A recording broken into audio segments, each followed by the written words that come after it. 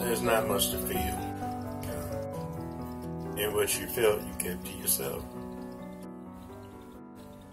It was, you in a dog eat dog world. You, know, you have some people in there that you can talk to, but most times you just kept what you felt to yourself. You know, you kept your opinions to yourself because it wasn't their business and it wasn't really yours. Yeah.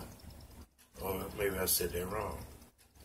Their business was their business and my business was mine. As far as feelings, didn't feel anything, you know. You see something, hey, you see it, you know. It's like everyday thing. You just see it. Uh, you know, seen like say, seen about it. You know. Seen about walk look look at it, keep walking. It's none of your business. Because you can make it your business by getting in someone else's business, you know. And it's dangerous, you know. Like there was no holidays in prison. At least not for me. You know? It was just another day. You know.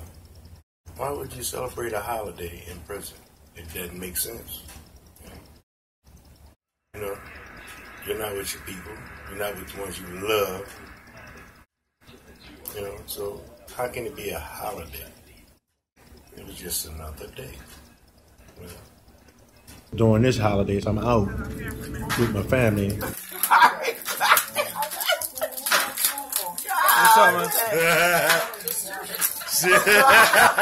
man? they play a little game where like they have a box within a box within a box within a box. And at the end, it's a small box in there it has a surprise.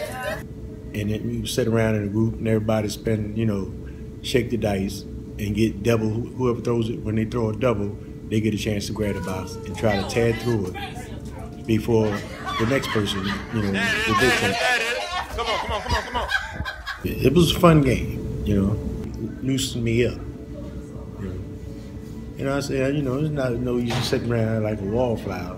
So I enjoyed myself, you know, because it's around families, and I seen they was having fun, so I made it fun as I could, you know.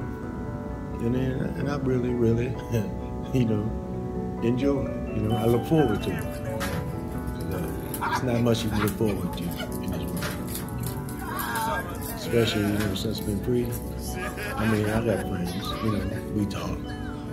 You know, you know I, we still, I joke with them, but not like I did with my family. I mean, they seen a side of me that most of them never seen. They know, like Ma said, she didn't know I could be that funny. You know, it came out. You know, it loosened up, and I felt it felt real good. You know, that's why I said, man, I can't wait till the next time